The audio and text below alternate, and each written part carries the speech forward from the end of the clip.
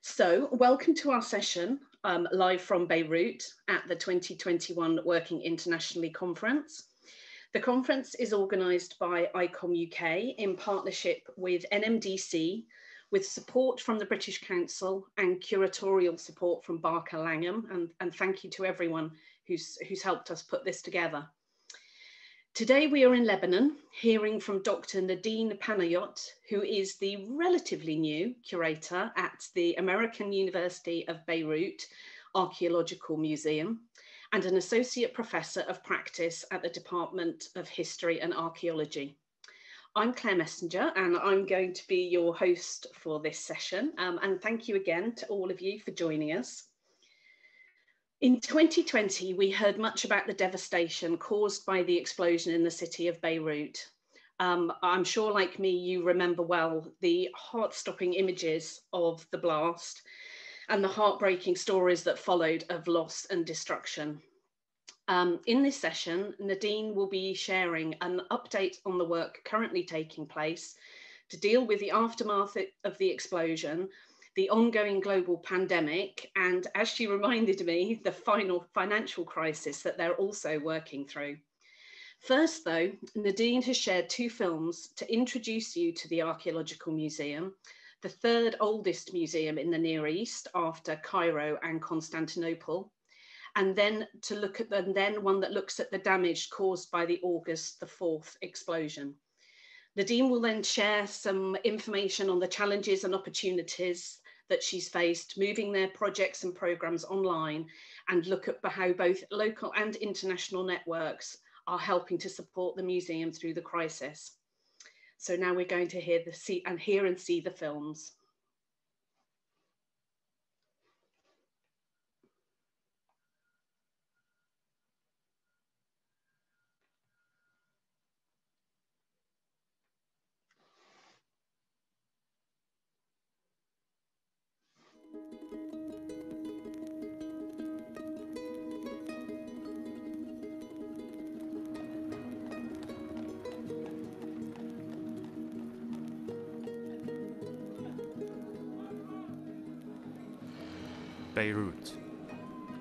Seven times destroyed, eight times resurrected, and still as resilient as ever.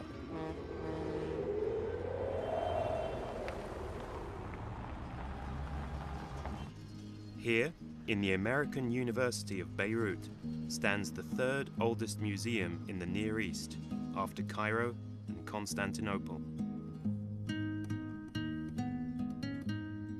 Nestled inside its walls is a rich collection of archaeological findings that have travelled far and long to find their sanctuary. Like this enigmatic crystal that came from Egypt. Hello there. What have you come here to tell us?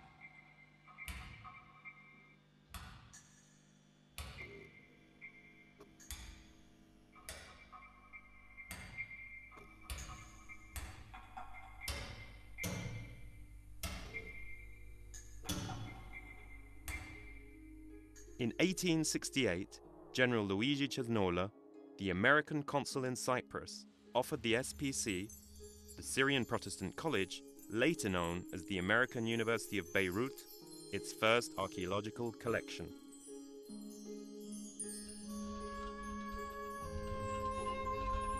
In those days, the collection was displayed in College Hall, the first building on campus. To look after these treasures, the founder of the AUB, Daniel Bliss, appointed two curators, Dr. Harvey Porter and Dr. and Reverend George Post.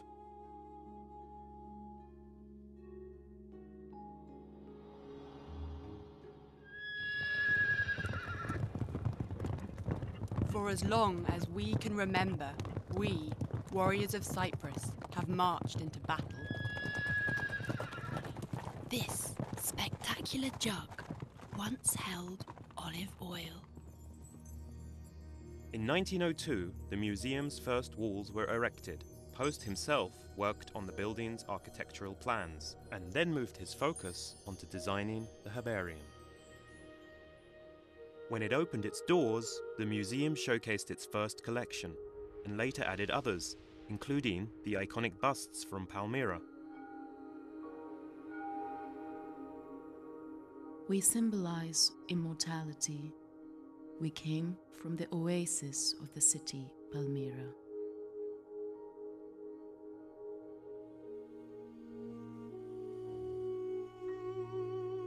We, ceramic sculptures and other manifestations of Islamic craftsmanship, were brought back from the dome of the rock in Jerusalem.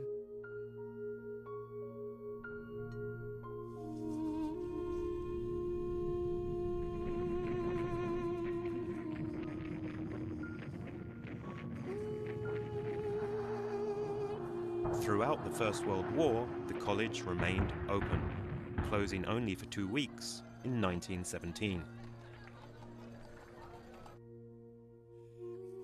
On the 18th of November 1920, the Syrian Protestant College was renamed the American University of Beirut.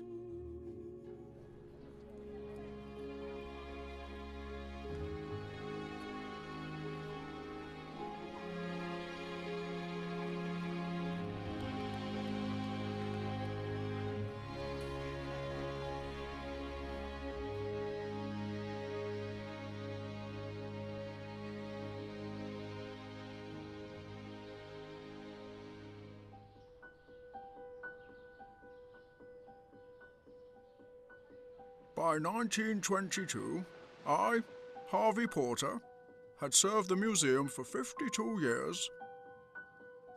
And after I passed away, Harold Nelson assumed my position. Nelson was an expert Egyptologist and well versed in reading hieroglyphics. He looked at me with his inquisitive, piercing gaze and saw right through me. He was one of the rare few who had that gift.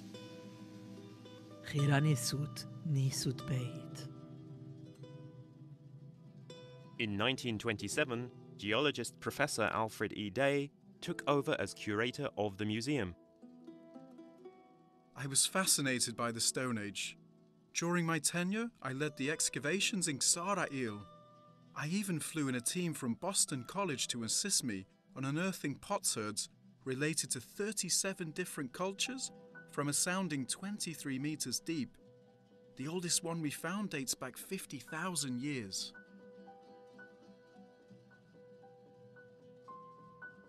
In 1930, Dr. Harold Ingholt became curator.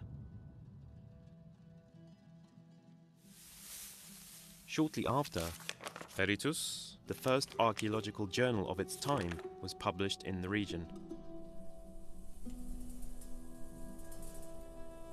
In 1932, I surfaced from the earth in the city of Saida. I came to remind the world that dentistry already existed in 500 BC. yes, these are golden wires. With the Second World War, the archaeological collections were at risk. Mary Bliss Bayard Dodge, the newly designated curator, took the initiative of moving them into The Van Dyke Hall, the safest place to protect them from the bombing. In 1942, 74 years after the establishment of the AUB Museum, the National Museum of Beirut opened its doors. A year later, Lebanon claimed its independence. we are amulets that date back to the Phoenician era. Our job was to protect our owners from the evil eye. We made it here thanks to Dorothy. Yes, Dorothy McKay, the new curator. She went to a lot of trouble to exhibit us. In 1951, Dimitri Baramki took over from McKay. I decided to move the botanical, geological, and natural history collections out of the museum. This way, we had more space for archaeology in the museum. And I made excavation mandatory in the academic field of archaeology at AUB. Did you know that Judas traded Christ for coins like these? I'm a coin specialist. All the coins here are exquisite. I am originally from the Temple of Ashtarut in Berytus, or Beirut as you know it today, though my temple still remains uncovered. I am the symbol of Heliopolis, the Temple of Baalbek. I go way back to the first and second centuries of the Roman period. I represent Poseidon, god of the seven seas. I am the daughter of Adonis himself. My name, My is Beroe. I belong to the Temple of Marsyas, still buried in Beirut. Baramki's curatorship lasted 25 years, during which time hundreds of objects were added to the museum's collection.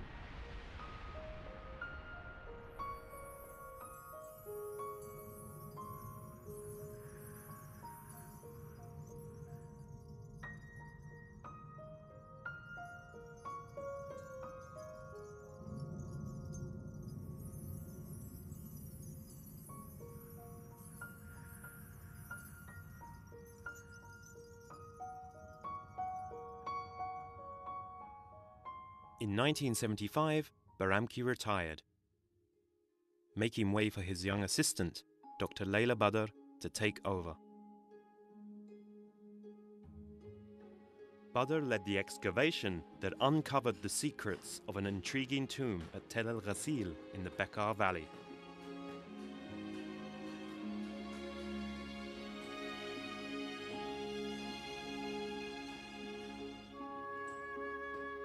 Thanks to my illustrations of birds and palm trees, archaeologists were able to date both me and the person I was buried with back in time to 1700 BC. I accompanied him towards his rebirth in another life.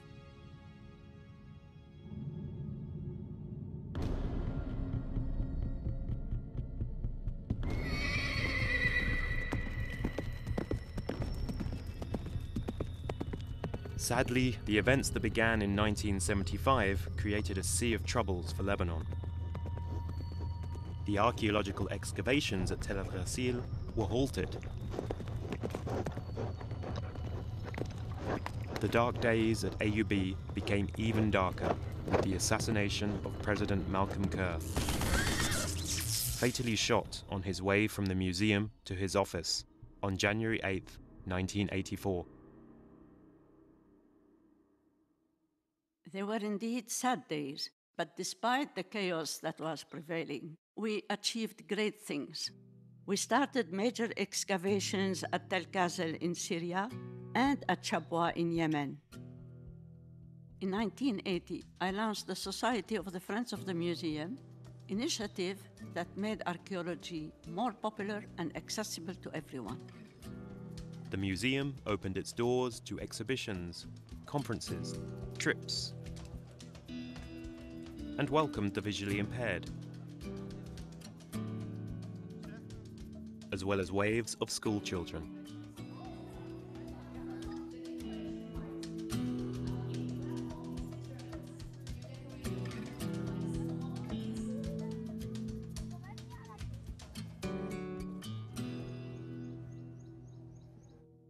In 1991, when the war was coming to an end, College Hall collapsed after a car bomb detonated.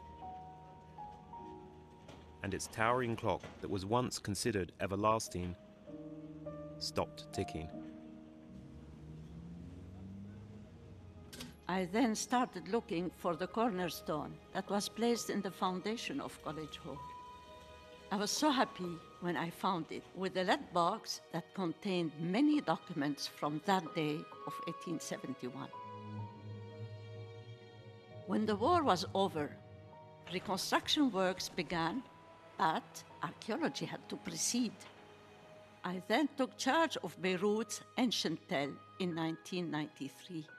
I was so lucky to discover these exceptional jars, the evidence that Beirut was indeed a Phoenician city.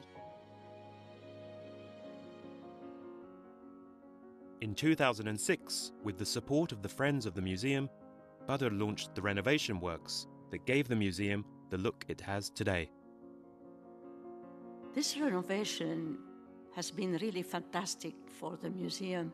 It gave this museum a new look, it gave it a new dimension. Objects have been brought together into themes.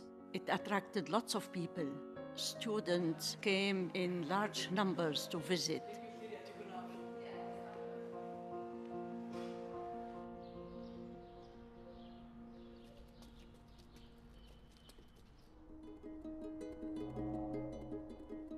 Very lucky and very happy to be here on this special occasion of the 150th anniversary.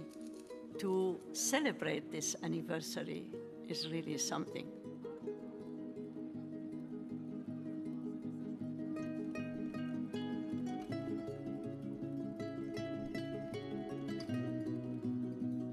150 years since its founding, the museum stands proud, filled with precious findings and timeless heritage. Behind it, all the men and women who worked with passion and dedication. Thanks to them, the story of the museum and its rich collections has been passed down from generation to generation, keeping the history of our ancestors alive and present.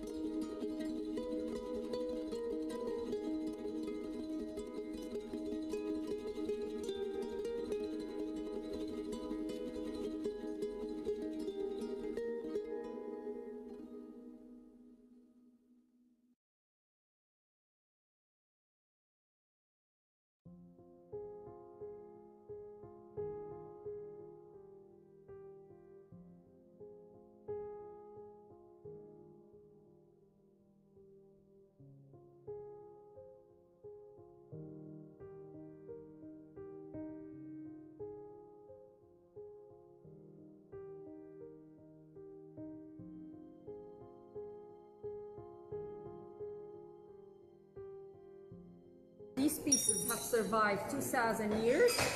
They've been through the tsunami of Beirut in 551 AD. They have been throughout all the wars, all the attacks, all the bombing. They've been through hell. And now, all it took was one blast. And they're all gone.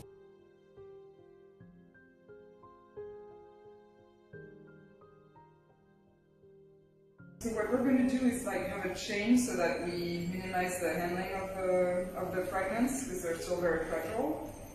And uh, we're going to try and identify them at the same time so we can uh, uh, make this process faster.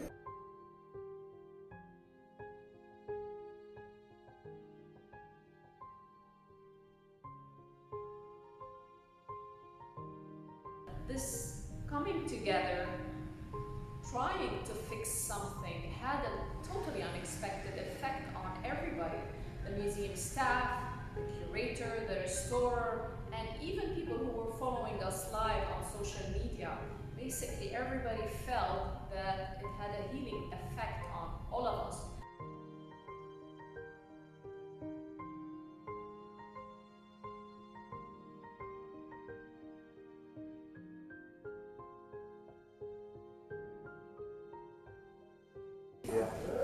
Oh, wow.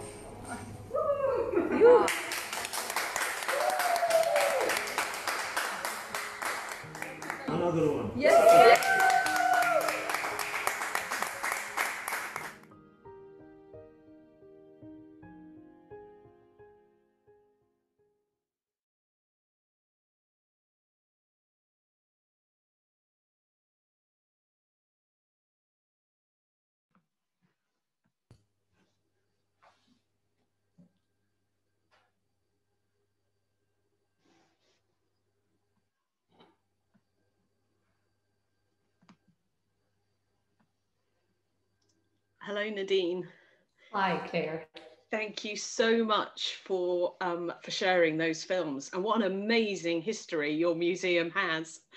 Um, can I start off by asking? Um, you were there in the days after the explosion. How did you feel walking into that space? What were you thinking?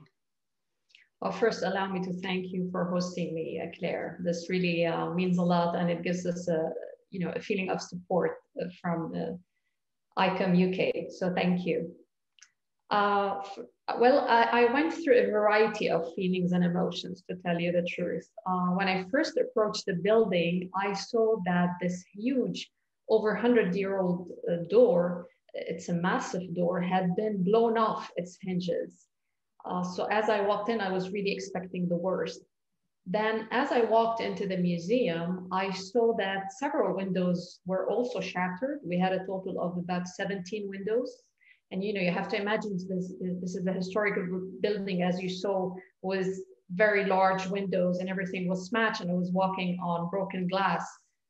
But then I was relieved because I immediately realized that, that, that the door had not crashed onto the Bronze Age and the Phoenician terracotta figurines but instead it had fallen uh, outside into the hallway, which was very surprising at first. Then, as I was walking uh, again, I realized that none of the showcases had moved an inch. All the objects inside the, the showcases, nothing had fallen, nothing had dropped. It was just perfectly well aligned. But of course, I was still, you know, holding my breath, walking on, on broken glass. And then I finally reached the end of the museum. And this is when I saw this large uh, showcase that used to contain 74, you know, uh, artifacts, glass artifacts, uh, that it, it was basically smashed face down onto the floor.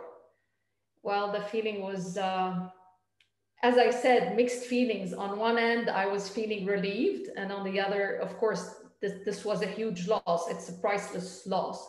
But at the time, remember, as you said, this was like few, maybe a couple of days after the blast, we were still re receiving news from friends and family members who had either lost their lives or had been so badly injured that they did not make it a few days after the blast. So you learn to relativize, you know, and you think, well, of course, these are price, priceless pieces, but at the end of the day, I felt that we were lucky. We got off with minimum damage, so to speak. Yeah, yeah. And did you did you um did you have any way um to deal with those emotions that you and your colleagues must have all, all been feeling as you say the, the terrible personal loss that people were suffering, um, and then also coming into a workspace that was so um, so devastated too. How, how did you support each other? Well, really, frankly, when AUB offered me that position in late spring 2020, I never imagined that this dramatic turn of events would actually take place.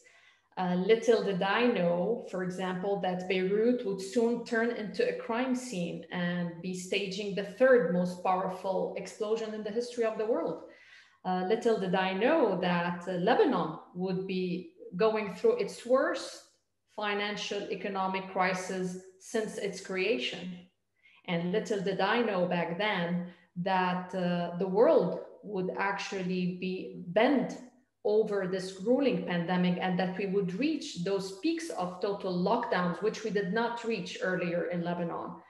So uh, my challenges was, were really all of the above. Um, having, I, I tried to address every issue, security, financial, recovery, restoration, health, with a clear mind. And I tried very much never to give in to fear, despair, or doubt, although all three were constantly roaming. So, um, as I said, you learn to relativize and see and look, you know, on the positive side of things and try to move forward from there on. Yeah. What What do you think the biggest challenge was? What was the thing that you found most difficult? Uh, really, I, I would not be able to separate between all three because they all hit me together. I mean, simultaneously. It was a huge blow.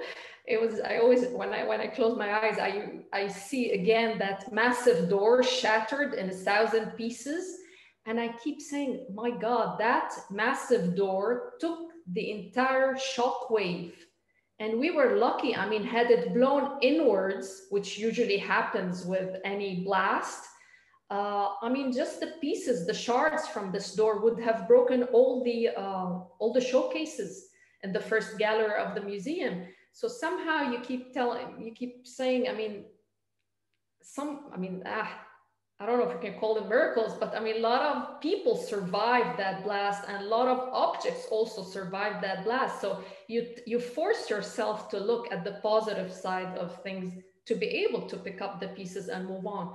Otherwise, you just, I mean, you're just left there in the dark. You can't move. But no, luckily, you have to pick up. You have to pick up the pieces and move on.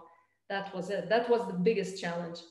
You, you were all just so incredibly brave. I, I can't even pretend that I can imagine what, what, it, what it's been like for you. Um, obviously you and your colleagues uh, have over the months um, after the blast were able to maintain a program of events lectures tours children's programs.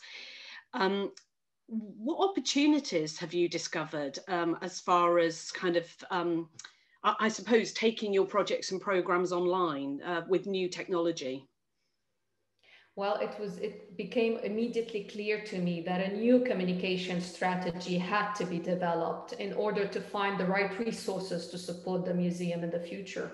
So we we shifted to digital programming and a new communication strategy. And I insist on the word communication because you have to, you know, you have to um, come out to your community. First, the Society of the Friends of the AUB Museum, who are, have always been extremely supportive then the AUB community, and of course, uh, third, the national and the international public at large. And it, we had to make a conscious effort to communicate with these people, to tell them what was happening. And uh, going live while during the recovery mission really was a learning uh, experience. We learned a lot from that experience. So all in all, to go back to the digital um, realm, so to speak, we um, it really did open up new horizons, endless possibilities, diverse partnerships, and interdisciplinary projects. And it was all one fingertip away. This was an amazing shift uh, into the digital world. And I would tell you a little bit of, I mean, after six months of experiencing that, uh, what were the outcomes? First, I think there is one major change that I guess all of us in the museum community have experienced. It's the recognition uh, of the digital sphere as a distinct branch of, of curatorial practices. Uh, maybe that was long overdue. Um, maybe all museums should have dedicated formal digital programming departments from now on. I know I would consider that we don't have that now. We're doing our best. We don't have really a department for digital programming, but we're doing our best with the means on board. Uh, another advantage uh, turned out to be leaping over bureaucratic and logistical uh, challenges. Uh, we are a university museum, so we usually, especially that we are located in a somehow insecure environment, what Lebanon is going through uh, has a lot to do with insecurities. So it was always a challenge allowing our visitors into the campus. It's not just they're entering the museum, they first have to cross the gates of the campus and then make it to the museum. So, digital, really, the digital realm opened up literally uh, endless horizons. Now, our visitors can just from their screen or their phone, you know, visit us, be in touch, read our newsletters, read our the articles that we send them, attend the lecture, the programs this was uh, an amazing um, uh, advantage. And another one, of course, is the low cost of running those uh, public programs. I mean, our first lecture, for example, uh, we, we hosted a professor, our colleague, uh, Professor Greene from the Harvard, uh, from the Harvard Museum of the Ancient Near East at zero cost. I mean, that's the way it is. Usually we would have had, we would have had to pay for the I mean, for travel expenses, hotel, uh, dinners and, and gatherings, you know, all of that took place. We had an amazing and a very uh, inspiring lecture uh, at, at no cost. And the beauty of it is that we had followers and we had uh, an audience from all over the world. Uh, Boston, Washington, Paris, the UK, everybody was watching from their homes. So this is, I mean, I like to again focus on the positive positive side of the what the digital digital world offered us. Um, so all in all, these were the the positive outcomes. I can I can um, as someone who works with um, uh, international colleagues all the time, I can I can really um, understand what you're saying. This uh, you know, this period for us when we've been uh, under COVID restrictions has been so amazing um, for keeping in touch with people in ways that we we just wouldn't have done before. Um, have you had any um, any issues with the kind uh, with the digital divide, um, uh, dealing with people who maybe um, are not used to uh, working with uh, Zooms and computers, whether they don't have the technology, whether they've needed to learn? Um, has has that been an issue for you? It has been an issue at the beginning, especially with the members of the society. Um, and uh, basically, slowly but surely, they all learn. I mean, we made accessibility very user friendly. I made sure, you know, every time I organized a, a lecture online, I made sure to ask the IT department not to, for example, you don't need to register. This is very important. Okay, it's it, it's on one side, it's not it doesn't sound very professional and it doesn't sound very academic coming from a university museum but on the other hand it helped our audience to really click on you know just click and enter and join the the lecture. So i insisted on that until they really picked up on it. And now everybody really uh, just you know joins in with zero trouble. I think we're I think we're all really happy to have anything that makes all this technology simple. To be honest, um, can I ask how um, whether your local audiences and local communities, what ways they were able to support you? Well, to tell you the truth, uh, prior to taking on my position, i.e., between August 4th and September 1st, I had put together a first aid rescue team with my ex-students who had earned their master's degree in museum studies and cultural heritage management from the University of Balamand. The rescue team volunteered to help all the damaged museums of Beirut. Of a total uh, of eight museums that had been hit, only the AUB and the Sursock museums suffered damages to their collections, with larger numbers for AUB. So our effort really focused on the rescue of the collections. And we let other NGOs and other uh, groups who of volunteers uh, help with picking up the debris, the architectural debris, you know, the glass, the doors, everything. But you know, since we are a very small group of specialized people, I told them, well, we should help where our help is needed the most. And this would be with the collections. Uh, and this is exactly what we did. And after that, we did an assessment, a preliminary assessment, and we put together lists of required material that we didn't have or we could not access because of the economic crisis in Lebanon. Uh, required materials for the recovery missions, whether it's for Sursock or AUB Museum. And I contacted then my colleagues and friends at the Institut National du Patrimoine in Paris. And we put together two recovery missions, one for AUB and one for the Musée Sursock. And uh, basically, they were both financed, and we're very grateful for that, by the International Alliance for the Protection of Heritage, ALIPH, which is based in uh, Switzerland and uh, we received the help uh, that we needed. So basically, we got a lot of support from volunteers from around Lebanon, but then we have very limited specialists in Lebanon in terms of restoration. We have very few. And this is why I needed to contact and bring in external help to handle, you know, the manuscripts, the paintings at the Sursock Museum, well, they had a, a somebody there in-house already, which was good because their largest collection has to do with, uh, is about paintings and arts. But then the rest, manuscript, this is where we intervened and the Institut National sent somebody, a specialist to handle the, the, the manuscripts. Uh, as for us, we have well, the one person who could have done the work for us, she was stuck because of COVID outside the country. And so she couldn't even help us. So it was it was no longer a choice. We had to call in for external help.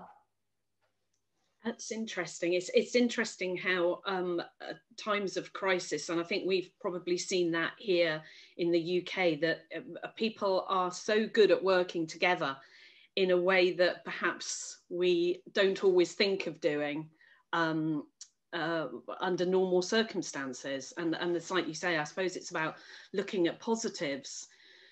Um, from, from a restoration point of view, um, have you been able to use um, local materials, local craftspeople, local resources in your reconstruction efforts um, uh, uh, in a way that possibly um, was able to support your local community and your local economy as well?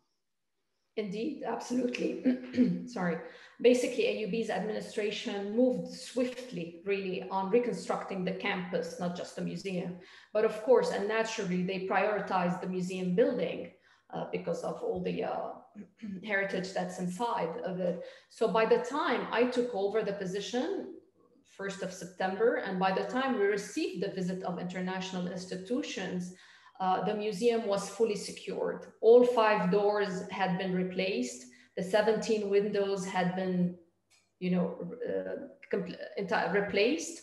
Uh, the building had been cleaned. It was, you know, totally locked from uh, from the rain, the water, I mean, everything that could have damaged the collections inside.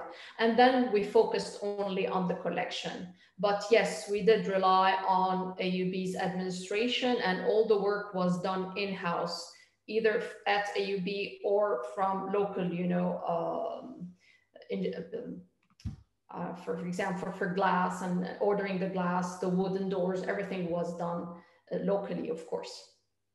Um, that um, I've just seen a, a, question that's come up in the um, chat, which I'll ask now because it, um, it, it sits with what we're talking about, I suppose, at the moment. Um, but someone's asked about um, disaster planning. Did, did you have a plan in place before this happened? if you did, how has it changed? what have you What have you learned from what's happened that would feed into that? Well, I have to admit that so when I took over, I did not have a uh, emergency plan.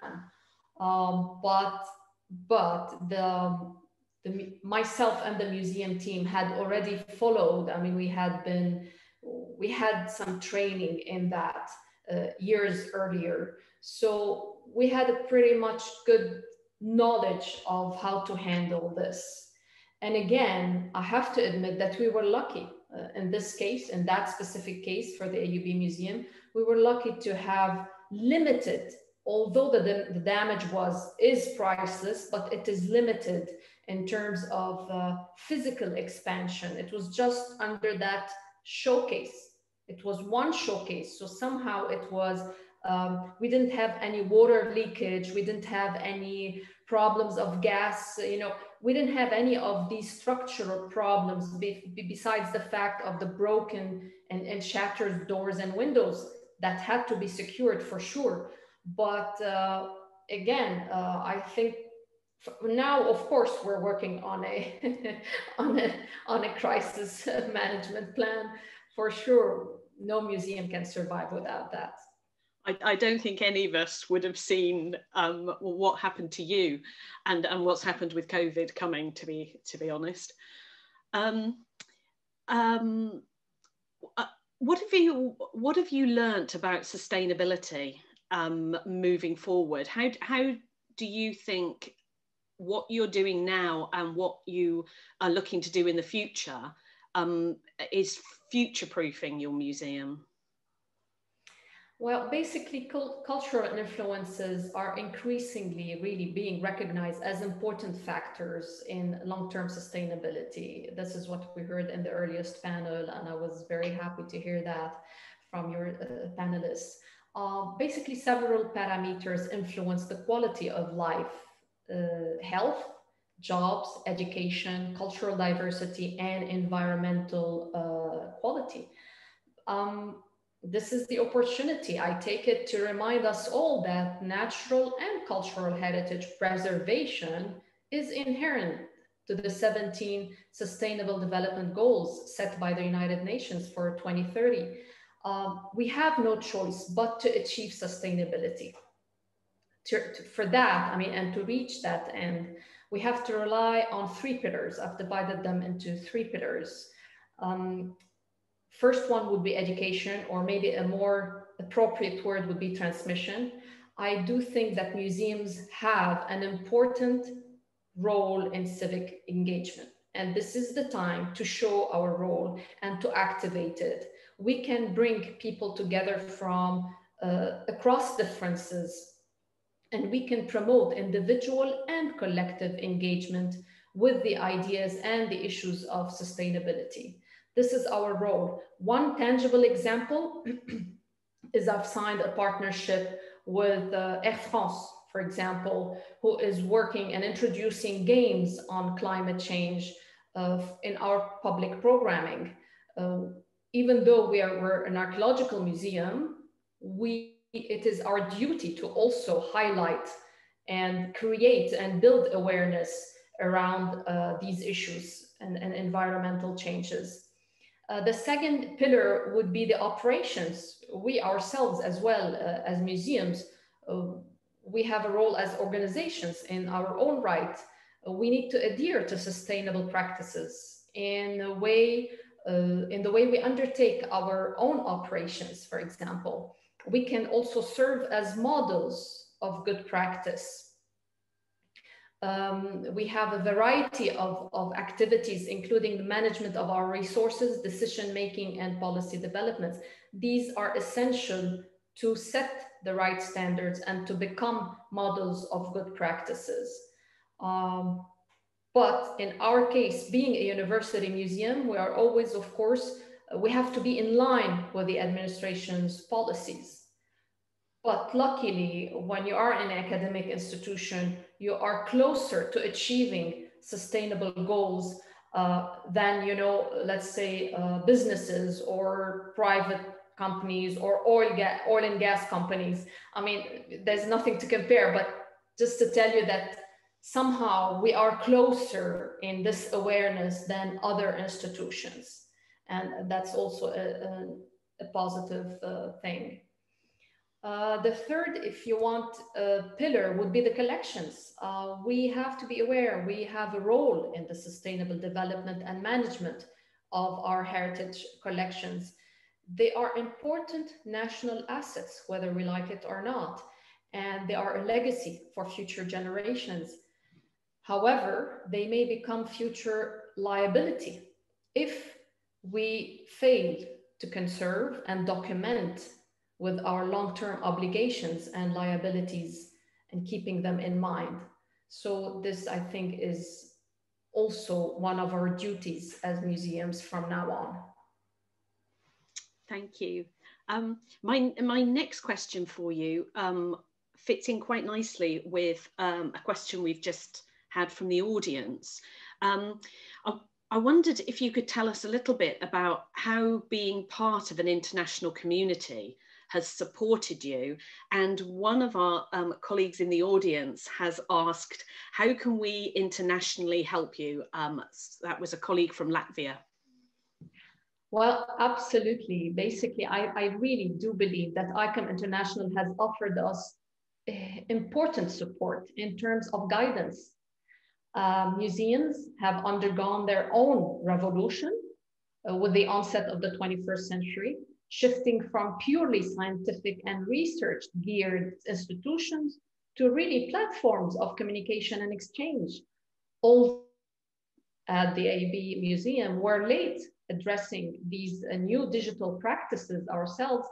It has somehow, it was somehow selfishly reassuring to notice that the rest of the world's museums uh, seem to be in need of recovery as well and of redefining their own raison d'etre. Uh, hence, if you if we look at the this year's ICOM's poster, I think it's sending a very clear message. The future of museums, recover and reimagine. This tells us one thing, we are not alone in this. I mean, for Lebanon, we know exactly what we are recovering from we have a blast to recover from, we have an economic crisis to recover from or to survive because it's not over yet. But somehow, and that's why I use the word selfishly, uh, seeing that the rest of the world museum is also uh, is being challenged by the same challenges somehow uh, felt reassuring and gave us some kind of support and yes, we're not alone. We have to redefine ourselves. We have to find reasons to continue, and we have to find a meaning uh, for our collections to become truly and play the role of a legacy for the future.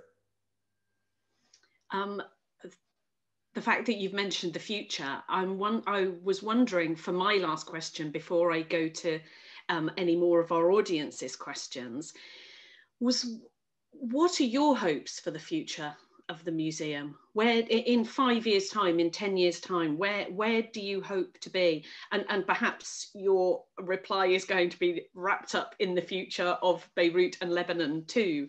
But um, what, what do you see as your future? Well, first thing for me, and the biggest challenge would be to really open up the museum. As I said, beyond security barriers, so for that, I am now in the process of applying to several grants in order to fund a mobile museum. Uh, that would actually, that would be an innovative way to deliver museum experiences to people, especially young people who do not have the opportunity or the luxury to visit museums in person. And, uh, and this will allow us to build awareness and reaching out through uh, to underprivileged communities. And I think this is highly needed in Lebanon. Uh, I, I want to move further away from museums being elitist or um, designed for an elitist group of people, but really be open to different groups and different societies and mainly underprivileged communities. And uh, this is where I see the museum going a few years down the road and hopefully and this is, a, this is the biggest challenge is really having a direct access to the street i.e that the visitors won't have to actually cross the gates but walk into the museum directly from the street and really have the museum play that role of a communication platform of exchange and awareness building and uh, you know that that's how I like to see the future of the museum. What a lovely idea, and it and it is strange, isn't it? How that um, that idea of of uh, people having to come onto a campus does that that very sort of um, very obvious physical thing does have an impact on people. Does make people feel that perhaps it's it's not for them. Absolutely, and that's why I said it's time to break with this uh, tradition of uh, even though it's not unintentional, but as you said, it's a physical barrier that you have to break, and um, at least psychologically, and and allow allow yourself to be open and and to receive people in in a you know I, would like to just like we turned the invitation on zoom uh, user friendly i'd like to turn our visit physical visit user friendly uh, so that people don't have to go through a lot of hassle and you know uh, logistical hassle to come into the museum and visit it freely. Um, that that actually the um, relationship with the university um, draws me to one of the questions that came in again from our audience, and um, one of our colleagues has asked if um, if the museum uh, we had a day I, I don't know whether you were able to join us but we had a day on social justice yesterday um, and one of our colleagues has asked if being part of the American University um, of Beirut has any particular resonances around the decoloni uh, decolonizing debate, um, which we looked at in part yesterday? Well, that was the, the topic of my first lecture online with my colleague from the Harvard University of the Ancient Near East, because precisely, I mean, the, we have a lot of, we have similar collections to start with, we have similar past, and actually, the Harvard Museum had bought some of his first uh, pieces from the AUB uh, museum collections in the early 1800s. So, uh, or in the mid 1800s. So, uh, indeed, that was one of the major topics. But um, not as much as I would say European museums when it comes to decolonization. Um, it, it's it's more complex. I would say we have to open up a political debate to explain and you know to to be fair to to answer fairly this question. You cannot separate the presence of an, the American University of Beirut from the perception that people in the Middle East have of the United States so this is that's why I say it's a very complex question, and I think it takes we need time to really discuss it openly and um, um, without taboos, so to speak.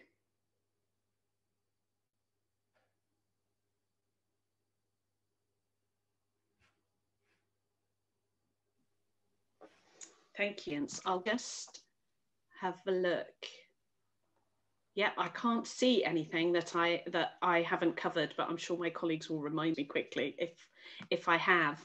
So um, I really, really hope we can have an opportunity um, to catch up again in a few years' time and see and see how um, see how many of your hopes and dreams for the future that you've uh, you've managed to achieve. I, I think from from everything we've seen today, I think um, you seem to be on such a such a strong path to um, to getting those things done and to achieving those goals. So um, it's been a really uh, powerful and uplifting session. I, I, saw some colleagues had said uh, had mentioned in the chat that they found the film a very emotional one, um, but as I say, a very uplifting one as well. And um, thank you so much for that, Nadine. Thank you, Claire. Really, if I would like to end on, on one note, uh, really what, what um, today, even though I found it to be an insurmountable uh, challenge when I started, uh, today I look at it, um, I look at it as a chance to take a leap of faith beyond hate, fear, and despair. And this is what we did. We started a journey of commitment and perseverance and repair, one step at a time, baby steps. And that usually pays off. This has been my humble experience. Thank you very much for having me. No, it's been it's been absolutely wonderful, and it and it's been so lovely to see. Um, as I said at the start, we all remember seeing the pictures on the news of that um, that explosion, and it it was certainly for me, it, it was one of the most incredible things and shocking things that I, I'd ever seen. And, uh, and to be able to speak to you now and and hear everything that you've been able to do and everything you've been able to achieve has has just been wonderful and um, and I think something that I really uh, will take away from this is um, is that idea of working together, of working in partnership, and and it's not a surprise that it's come up in the chat that people are offering help and and support um, because I think that's one of the things we do really well in the museum and cultural sector. I think um, we're all we're all there to help each other if we can, and um, and I hope that if um, I hope you won't mind that if anybody wants to contact you or be in touch about what you're doing, um, then then I hope you will you'll allow us to share your details. Thank you so much. Of course, thank you so much. well, thank you everyone for joining us. Um, finished on time. What a result. Um, so now um, we're going to take a break for lunch and we'll hope to see you at uh, two o'clock for our Barker Langham curated session. Um, today we're looking at responsive futures. How do museums or cultural institutions collect amid chaos and disquiet? And that's going to be with Jodie Neal, um, senior consultant at Barker Langham. And I'm, I'm really looking forward to that session. I hope you'll all join us. And thank you again very much to Nadine and to all of you for taking part today.